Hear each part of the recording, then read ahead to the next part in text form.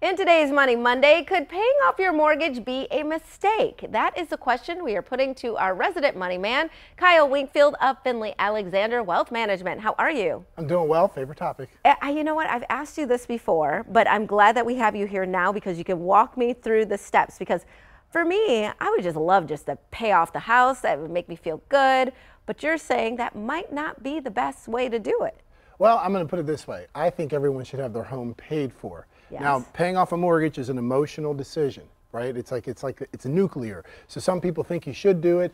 Don't go into retirement with a mortgage, or some people mm -hmm. say, "Oh, actually, absolutely, Kyle. I think I should because mortgage rates right now are so cheap. I'm not going to just take cash and do that." Mm -hmm. And I I've decided to be able to help you and everyone else watching okay. think about it in, in, in a different light and think who's in control of one of your largest assets, the equity in your house. Okay? okay? So let's say you have two boxes. One box is going to pay you zero, the other box is going to pay you a percentage, and you have money, and you have to make a choice. Which box are you going to put the money in? The one with the percentage or the one with the zero? I'm going to want to take the percentage. Correct. No one ever gets something wrong, and I don't ask uh, trick questions. I want more money. Okay. Yes. so now, is there anything I can do to convince you to take that money out of the percentage box and put it in the zero box? No, because I want my money. Okay. So watch this. I'm no artist, but that right there yes. looks like what? A house. A house. Yeah. Yes, got it. Okay, so that's what you're. So the idea of not paying off your mortgage, what is it? I mean, just break it down in layperson's. Okay. So this is what's going on. Who's going to be in control of that equity? Because everyone thinks, okay, I'm going to pay off the house, but the equity gets what rate of return?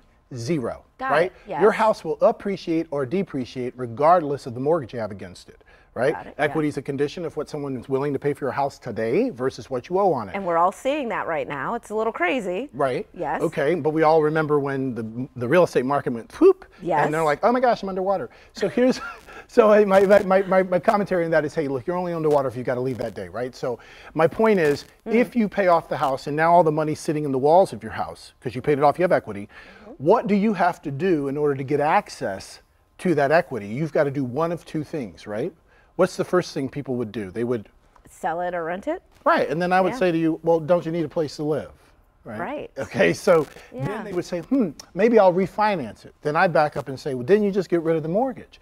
But when you're refinancing, what exactly are you doing? You're filling out a mortgage application and you're asking permission from which entity for access to what you believe mm. is your asset. You're asking the bank yes. for permission. Who has the final say on whether or not you get the mortgage? The bank. The so bank. now you've tied up your money in a way that you can't even access it. Correct. It makes or it you can. It's just going to take several steps. It's going to be difficult because a lot of people think of a mortgage yes. is a loan against their property. I'm like, well, it's a loan against your income. So if you have yes. no income, it's going to be rather difficult to get access to that equity and use it. So my point is, put yourself in a place where you have control yes. and that money is growing. So at any point in time, if you wanted to, you could write a check and pay off the bank and then own right. the house outright. Right, but you've got control over that.